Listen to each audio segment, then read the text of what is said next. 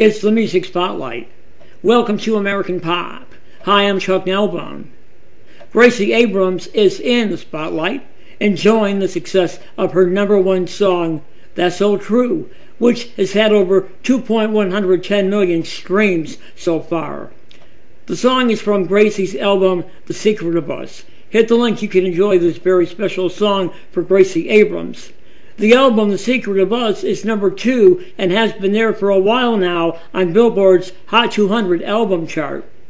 Gracie Abrams is also up for a nomination at the upcoming Grammy Awards with her duet with Taylor Swift. The song is called Us. You can also check that out as well.